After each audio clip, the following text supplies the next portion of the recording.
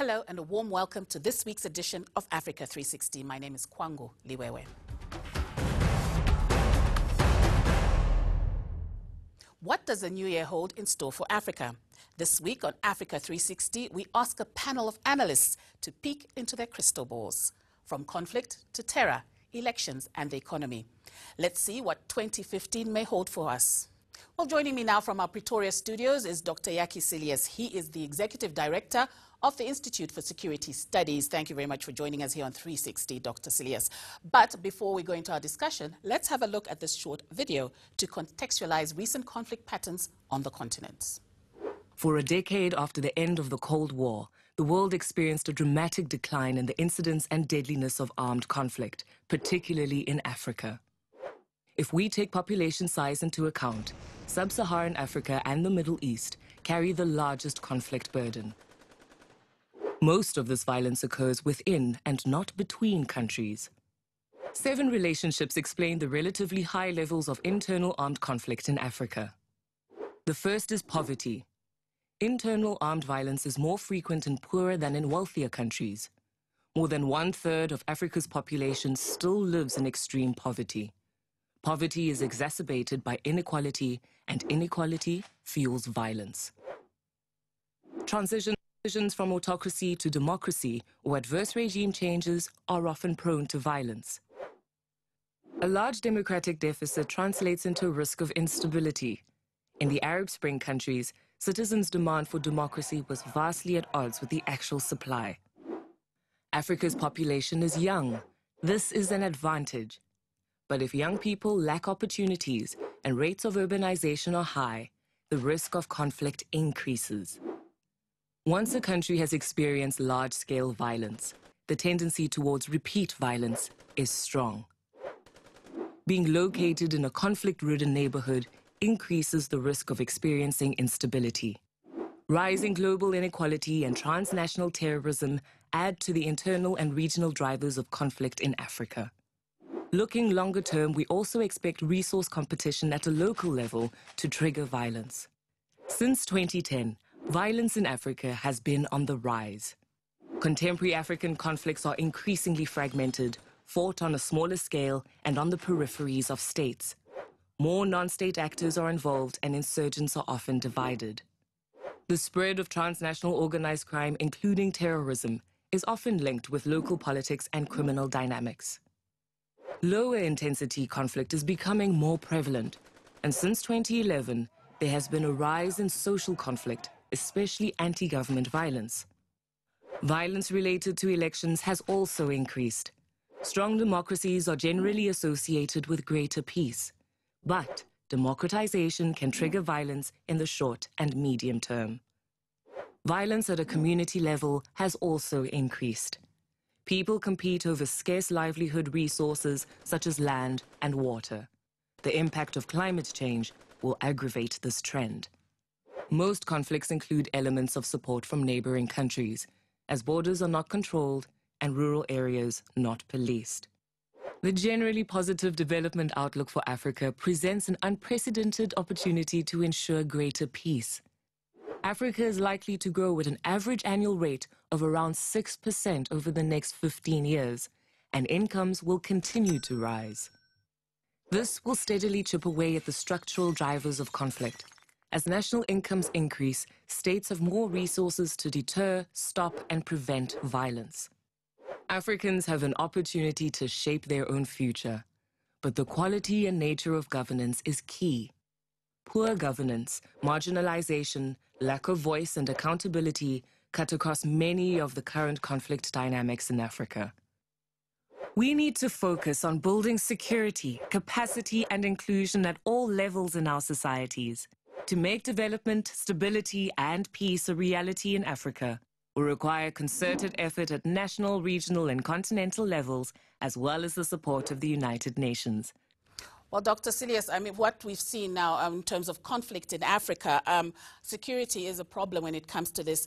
2015, when we look at what we've gone through in 2014 in terms of South Sudan, Central African Republic, Eastern DRC, do we expect to see more conflict in these areas as we progress into the next year? I think in the short term, the prognosis is, is not good, but it's important to emphasize, as that video also shows, that violence in Africa is concentrated in a number of key states Sudan, South Sudan, Somalia, Central African Republic, uh, Nigeria, and so on. Uh, while a large number of countries are relatively peaceful, um, the violence in these select five, six countries will determine how people generally perceive Africa. The broad trend is clear, and that is that over a long time horizon, violence decreases over time.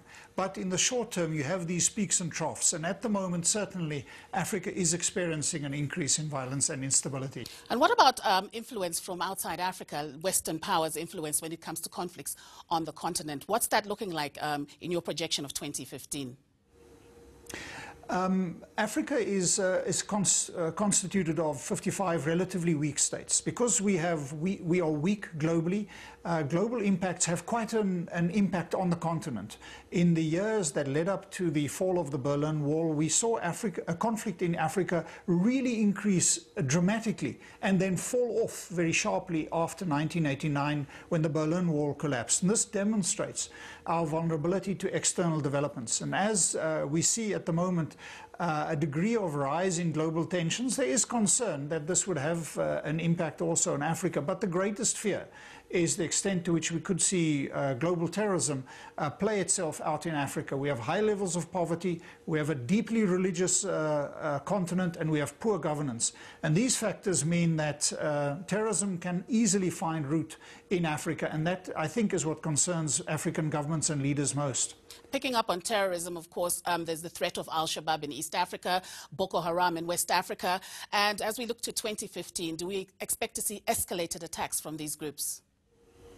I think we are going to experience an escalation in, in threats. And the reasons are that uh, these uh, groups, we've recently done a significant amount of work on what motivates uh, Al-Shabaab in particular to participate uh, in terrorism. And what drives people are, are, domestic conditions. It's not the global context. It's not some type of global jihad that's coming to Africa. It is locals that are deeply aggrieved by poor governance and the way in which they are treated, who become radicalized and then seize upon uh, other belief systems and, and justify their actions uh, through those belief systems. And unfortunately, that dynamic is not something you turn around. Well, do stay with us. Our discussion continues after the break. Don't go away.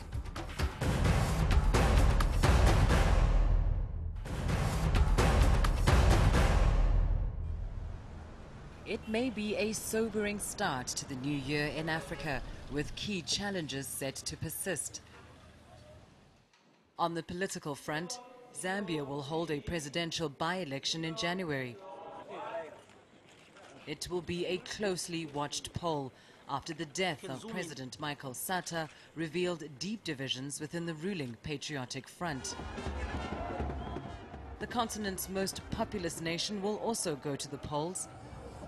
Goodluck Jonathan will seek a second term as president of Nigeria as the country continues to battle a punishing Boko Haram insurgency. Economically, Africa is set to maintain impressive growth figures in 2015.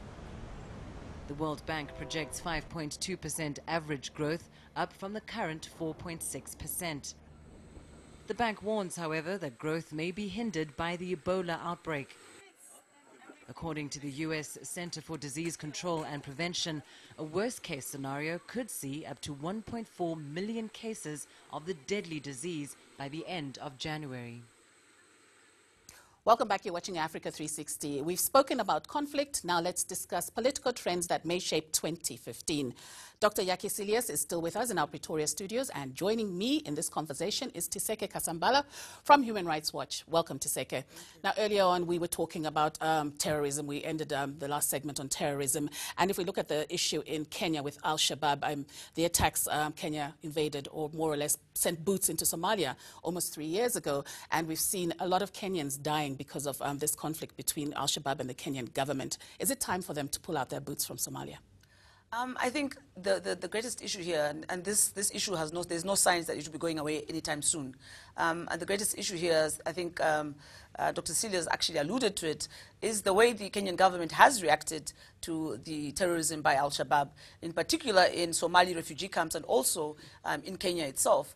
Um, one of our most recent reports at Human Rights Watch documents the enforced disappearances um, and extrajudicial killings of terrorism suspects in detention um, in police detention with the Kenyan government of, of terrorism suspects. That's a big thing because what it does is, is simply um, enables the cycle of violence to continue. You have a lot of disaffected Somali youth who've been living in Kenya for many, many years now, who are swept off the streets as terrorism suspects, um, either tortured, um, disappeared, or um, extrajudicially killed. So the Kenyan government is not following, following, the rule of law. There's a lot of human rights violations taking place. And that simply, I think, um, adds um, fuel to the flames. Dr. Cilliers, should Kenyan boots leave Somalia? Uh, no, they should not. Kenya has got a vested interest in uh, Somalia, and uh, Kenyan stability in the medium long term will be uh, deeply affected by what happens in Somalia. I think another factor that's what what uh, what is happening is that as AMISOM extends government control in Somalia, we see that Al Shabaab uh, terrorists are fleeing, and they are also moving into into Kenya. So, unfortunately, what we're seeing in some of the northern parts of Kenya also reflects, in a sense the success in re-establishing authority in Somalia. Now, of course, there's a crucial election in Nigeria in February. And how do you see this playing between the elections and the insurgency? Once again, I think the problem has been in how the government in Nigeria has addressed the situation um, with Boko Haram. What happens when you, when you mistreat populations whom you suspect of being either contributing to Boko Haram what happens is you get a lot of disaffection within those communities. What we've seen um, is the Nigerian government, in particular the Nigerian army, going in, into communities in, in the north of Nigeria and disappearing young men. We've documented hundreds of young men who've been disappeared by the Nigerian government. That hasn't solved the situation with Boko Haram.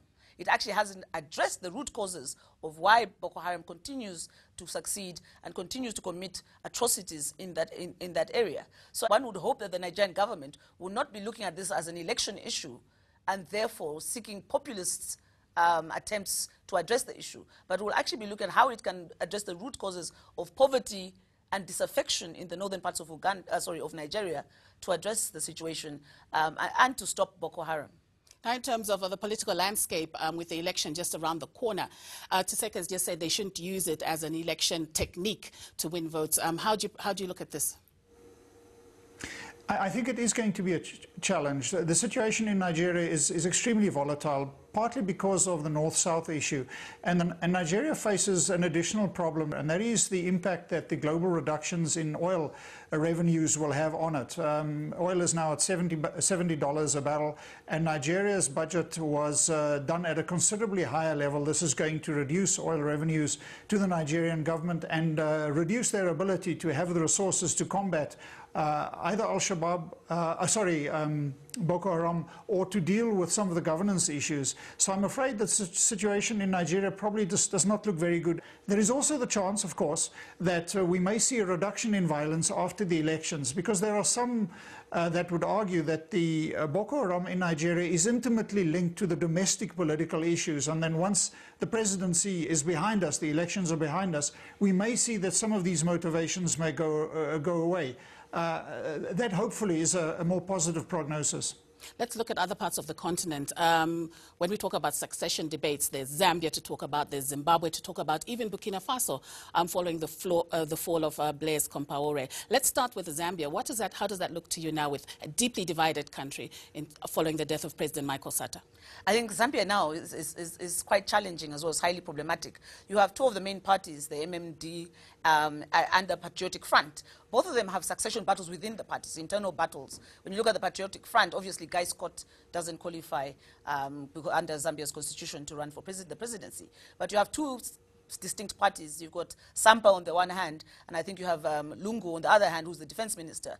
And there's a lot of in, in, um, in, internal battling um, within that party. And the same thing, I think, I think with, with the MMD as well where Nevers Mumba is, is, heading the party, but we hear that Rupia Banda wants to come back and make a return. And so I think that does leave the situation in Zambia rather uncertain. Um, but I'm hopeful because, you know, there's always been stability in the, in the region, and I'm hopeful that despite these intra battles within the parties um, uh, that will see um, a free and fair election going ahead. But of course, none of them has, has as yet, as far as I know, um, chosen their leaders, their leaders for the presidency for, as presidential candidates. So it's still quite challenging, and the situation is pretty tense at the moment. Looking at succession in Zimbabwe, we've just come out of a ZANU-PF Congress where the status quo remains the same with President Robert Mugabe at the helm. New kid on the block, of course, is his wife, Grace Mugabe. How are you looking at the projection of Zimbabwe in 2015? Uh, I'm quite concerned. I think that uh, Grace Mugabe has introduced a new dynamic to, uh, to Zimbabwe. Um, I think that uh, every, every indication is that when you've had a type of a dynastic succession, which is what's being tried in Zimbabwe, after a ruler that's been uh, in charge since 1980, we are headed for unstable times. I think the um, Zimbabwean uh, public uh, uh, would not want the current regime to carry on. The, the nature of, of, governance that we've seen in abuse of power corruption and patronage. I, am afraid that I'm, I'm, quite concerned what is going to happen the day that President Mugabe is no longer able to, to, uh, uh, to run the country. And I don't think the transition to his uh, wife is going to be stable at all. She appears to be a front for uh, other elements within ZANU-PF, um, but uh, her presence is deeply, deeply resented in large portions of the country. So I'm afraid I'm quite concerned. It all depends on when that uh, instability will start, and that is inexorably linked to the, to the health of uh, Robert Mugabe. Well, thanks to my guests, Dr. Jakkie Cilliers and Tiseke Kasambala, for joining us here on Africa 360. Political stability is primary importance in fostering economic and social development and attracting foreign direct investment. When we return, we'll look at the economic trends on our continent for 2015. Do stay with us.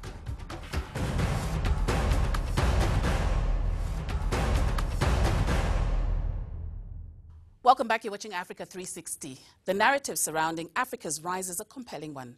The continent's economic performance over the past decade has been notable, reverse, reversing a pattern of low growth and instability. And joining me now to discuss the economic trends is ENCA's resident economic analyst Clive Ramathibela Smith and Dr. Peter Karungu, who is a senior economics lecturer at Wits University. Gentlemen, thank you both for joining me. Now we're looking at 2015. Which are the countries to look out for in 2015 when we're talking about um, better progression in terms of economics, Clive? I, it's very difficult to say because I mean this pie is so massive. Mm. This continent is full of wealth and riches, and I hope that everybody will look at every country for its ability to actually contribute positively. But who but the front runners be? I'll put the front runners up there. I'll still put South Africa at number one, and I know a lot of my Nigerian friends will fight, but you know, I'll put South Africa at number one. I'll put Nigeria second. I'll put Kenya third, and I'll put the Ivory Coast fourth. And on the fifth, I'll put Zambia if they can sort out their political atmosphere. So if that goes well, then those are the countries to look out for, including Madagascar at sixth, maybe just a little bit back there, but Madagascar as well is something to look at into 2015. And which ones would be the worrying ones, sir? Well, later we are sitting on two. If you look at it, about 2011, 2012, the GDP in Africa was barely 1.6 trillion. Now it's sitting on 2.2 trillion and above. We are saying we are seeing close to 600 billion made in a span of five years. The question is, where is the money coming from? And you can look at the statistics. The statistics is, you look at countries like Ghana, Nigeria, Cote d'Ivoire, you can go to Mozambique, you can go to Ethiopia, you name it. They are growing at exponential rate. So really, that's the fact. The facts are, what do we have on the table, and what are people wanting to watch? And that's where the money is. And it's unfortunate that, unfortunately, my friend, the countries that are recording the lowest growth rate are in the Southern Africa. We don't know why, and those are the questions we need to respond to. Clive, your thoughts on his uh, observations? I, I, totally agree with the doctor. I mean, we must be very optimistic about what's going to be taking place uh, in the next 20, 30 years, which is great because it's long term. If we're talking about 2015 and you're going to put money in Mozambique, you're going to start firstly by doing due diligences, inquiring what it is that you're actually buying into. Because these businesses or these countries that start from a lower base are very, very deeply uh, indebted, one. Secondly, they do not have transparency protocols that you can actually follow as an investor and you can trust to put your money in them. And that is the biggest challenge for these countries. They've got great potential to grow and become the massive beasts that they should be. But the question is, for 2015, will they be prepared? Will the infrastructure be there? Will there be stability? Will the financial systems actually be able to handle the kind of FDI they require for them to push forward? And the answer to that is no. And that's why you go back to the tried and tested, the likes of South Africa, the likes of Nigerian market, which has already seen uh, that they've actually seen the money, they've seen the cash, they've seen where to apply the monies. If you want to go long term, fantastic. Then you go for five-year term, and then you study these countries for the next five years. By 2015, you want to put your money where you can trust that it will be looked after. Clive, when you named your top six, you, um, you mentioned Nigeria, you yeah. mentioned Zambia. And obviously, when it comes to politics and economics, there's a strong relationship there. Mm. Nigeria goes to the polls in February. Um, Zambia, a lot of instability in terms of who's going to rule the country. That will be known after January uh, the 20th. Now, yeah. in terms of your projection, let's look at the Nigerian election and your thoughts on that. I think what's going to happen is that uh, we, we I think the media sometimes just pulls things out of proportion, to be honest with you. I think the Nigerian elections will go very well. I think Goodluck will come back with good luck again and do what he has supposed to do. And I think if you look at what's happening in Zambia, it's, it's just a, a change of thinking that needs to be applied to the people. And I think that we've moved far too uh, uh, uh, ahead when it comes to the African continent, when it comes to understanding politics. And I think the Zambian people will be able to understand that. This is just a periodic uh, uh, term, and it will come to an end, and you have to vote for a new president. And they will vote, and they will have a successful uh, election. So don't look at Africa and think, oh, this is going to be a terrible year because we've got these elections coming up. Look at Africa and say, look, good luck might come back if he gets the right votes, and we might see a new president in Zambia, and this will actually stabilize those countries and actually correctly bring back the FDR that they require for them to be successful. And in terms of Zimbabwe, where they've just ended their ZANU-PF Congress. We know the economy there um, is not doing too well. What do we expect to see? How do we expect to see the economy in 2015? You've got to look at a place like Zimbabwe. Mm. And of course, it has not kicked in completely because there is a lot of, in my view, political turmoil. However, if you look at the crop that they have harvested the last one year and two years, which is indigenously driven, give credit to RAD reform. Because in the long term, and unlike probably my colleague here, I don't believe in short term. I believe in long-term vision because that's the only security we have. And I keep on saying to people, don't worry about today or tomorrow. Worry about what is there for our generation, and then we can build the, the base for our children. Now, having said that, I don't want to narrow to say, put money in Zimbabwe, don't. If I had my money in the long term, that's a place to watch. For what reason? One, even today, despite all said and done, they have some of the brightest minds. And the economy is driven by might. It's driven by the capability to think, to be academic, to work hard, and to have a political discourse that guides you to get that way. Of course, they don't have it for the time being. But the day they will have it, it will be a shining place. Let's talk about um, one of Africa's main trading partners, China, mm. um, in terms of investments in 2015. How do you view that? I think there's going to be more money. I mean, uh, President Zuma was there, and they're traveling around the African continent. They're looking for opportunities everywhere. They're studying their banks uh, in the likes of Kenya. So these guys have got a very good strategic plan of how to actually spread their wings. In actual fact, they've shied away a little bit, actually, from the West, and they're focused on Africa. And like the doc says, I mean, what's there not to like about the African continent when it's growing at the GDP numbers that we see each country growing at? You want to have opportunity there, but you have to have actually have a strong base for where you're going to be building. You understand? So if they can come back here and they do what they keep doing, despite the fact that, in actual fact, when it comes to numbers, you can see them actually, their GDP is just slightly declining. But next year, they might just decline even further. They might just hit 6.5. But which of the developed markets are hitting 6.5 growth? Not even America. So the answer to that is yes, China's going to develop some more in Africa, and I'd love to see what else they've got for us. But let's not compromise too much because even in our continent, there's things that we can do. I always speak about this, Kwangu, about the intercontinental uh, relationship or inter-country uh, relationship that we should have within the African continent to grow ourselves and strengthen ourselves better. But with foreign direct investment that China is doing, I think that is critical for our growth into 2015. Doc, apart from China, anyone else do you think will be um, giving us foreign direct investment on the continent? I think the appetite for Africa is perpetuating. Mm. And I'm very keen to say that I don't think American or anybody else would want to watch a country with the projection we are giving you. Mm. So I have a feeling that our old friends, maybe they will reform a little bit because they are, if they reform, they are very good people to reform work in terms of? Reform attitude, a little bit of arrogance, of course. but the truth is that we are seeing a very high appetite for African investment. I don't think China is a solution. Listen to this. The highest export from China to the United States is education. In other words, Chinese spend about 300 billion, almost the GDP of South Africa, to educate their children in China. Now, We may divert fact so much and run away from the British and say they're going to invest that. And I come from a, a school of thought that says, don't worry about now or yesterday. That's already gone. Today is already gone. Tomorrow is here. Worry about our children in years to come and prepare them to face the challenge that the world will offer then. But you cannot run away from education. You cannot run away from being pragmatic in what we call democratic pluralization. You cannot run away from that. You can't run a country which is literally, in my view, not as liberal as we think in political context. Respect for human rights is quest questionable, and we are also dealing with them and then we are friends. That could take us a little bit back. We don't know. I'm not saying don't take China for what it is, but I'm also saying I think our traditional friends are coming back, and to me, they offer a better option.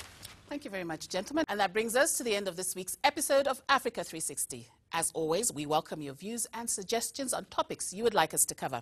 You can join the debate by going to our Facebook page or you tweet us your views at Africa360 underscore ENCA. You can also send us an email to Africa360 at enca.com. For now, it's goodbye. Thanks for watching.